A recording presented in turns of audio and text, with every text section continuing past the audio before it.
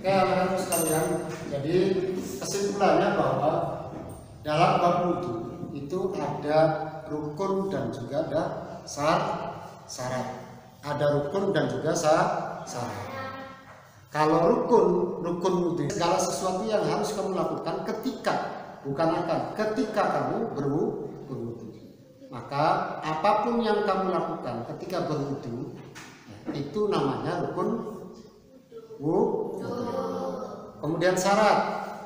Tadi syarat bahwa syarat itulah sesuatu pekerjaan yang dikerjakan di luar pekerja pekerjaan. Jadi ketika kamu sebelum wudhu, sebelum wudhu, sebelum melakukan gerakan wudhu yang rukun, maka itu namanya syarat. Dari dari apa yang tadi sudah saya sampaikan, paham belum? Yang belum paham, silakan ditanyakan dengan menunjukkan tanda. Ada. Buka, bukan orang Islam berwudu boleh tidak am? Terkait dengan pertanyaan si Intan, Intan itu pertanyaan begini. Jadi kalau orangnya tidak beragama Islam, lalu berwudu. Ada misalkan ada orang non Muslim, baik itu agama Kristen atau Buddha, Hindu dan sebagainya. Kemudian berwudu, berwudu. Sah tidak wudunya, boleh tidak wudunya. Maka dikembalikan kepada sar, syarat. Dalam syarat wudhu itu syaratnya harus beragama Islam. Islam harus beragama Islam. Artinya ketika orang itu bukan beragama Islam, maka dia tidak terkena hukum wudhu. Tidak terkena hukum. Kalau semisal dia memaksakan berwudhu aja, misalkan pengen seperti orang Islam mau berwudhu, berwudhu, ya nggak apa-apa silakan. Tapi itu tidak termasuk wudhu. Itu bukan dinamakan wudhu. Kenapa tidak dinamakan wudhu? Walaupun dia melaksanakan apa sama persis dengan yang dilakukan oleh orang Muslim berwudhu, yang membasuh muka, yang membasuh tangan, kemudian dia mengusap sebagian ke kepala, bukan rambut. Tadi kan sudah disampaikan, bukan ram, rambut sebagian kepala. Kemudian membasuh kaki sampai mata mata.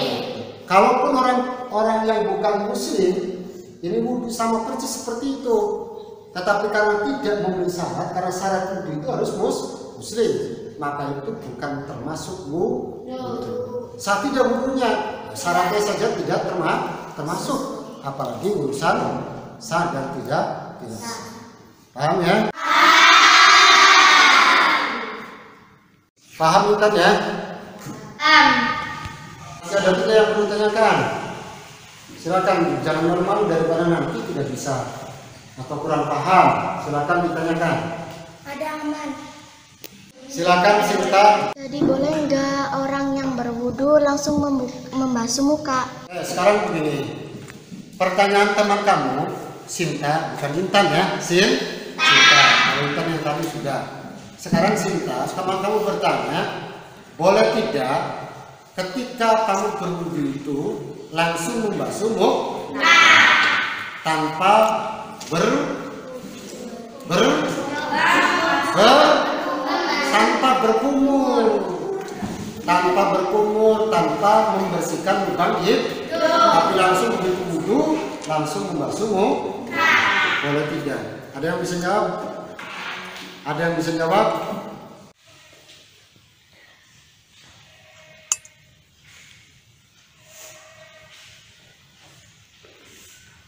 Sekarang ketika tidak ada yang menjawab di antara kamu sekalian jadi ketika ketika kamu berwudu lumrahnya orang berwudu itu biasanya kan e, mengusap atau membersihkan kedua telapak tan telapak tangan. Ini biasanya nih e, memba- membasuh telapak tangan.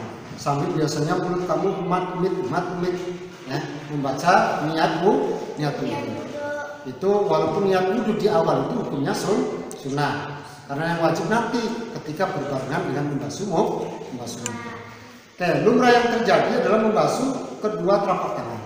Habis itu kemudian mengambil air untuk berkum berkum berkumur habis berkumur kemudian eh, jari tangan kamu dibasahi kemudian di- untuk membersihkan kedua lubang hid lubang itu yang jadi pertanyaan Sinta boleh tidak kalau wudhunya tanpa mengusap tanpa membersihkan kedua telapak tangan tanpa berkumur tanpa mengusap di membersihkan lubang hid maka kembali lagi tadi ada yang namanya ruk- rukun kalau rukun itu wajib sesuatu yang wajib harus dikerjakan tidak boleh ditinggal kalau kamu berwudu sesuatu yang wajib dikerjakan itu namanya rukun ada lagi yang namanya sun sunnah sunnah itu kan sesuatu yang boleh.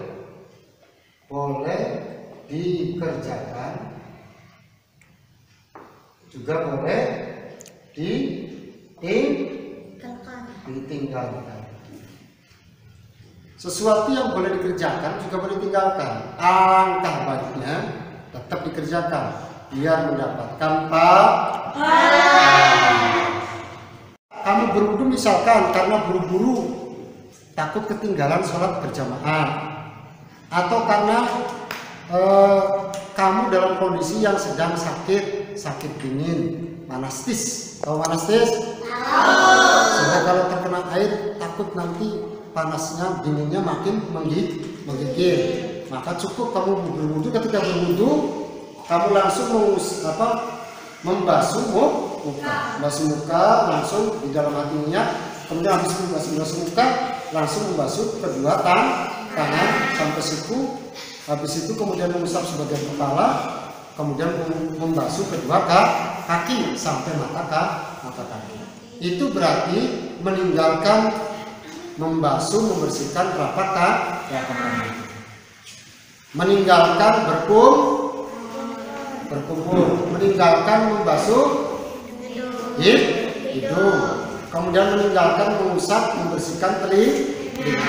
Itu ya wudhunya tetap sah. Wujud wudhunya tetap sah. Karena apa sah? Karena sudah melaksanakan rukun daripada wudhu kalaupun yang sunnah itu ditinggal. Paham ya? Cukupkan sampai di sini pembahasan atau pembelajaran tentang masalah wudhu baik itu syaratnya wudhu rukunnya wudhu ataupun sunahnya wudhu wudhu. nanti minggu depan akan membahas tentang materi sesuatu yang membatalkan wudhu ya sebelum pulang mari kita bersama-sama bacakan suratul Fa- fatihah supaya belajar hari ini eh, mendapatkan berkah. Kemudian ilmu kamu bermanfaat dunia atau akhirat. Amin. Al-Fatihah.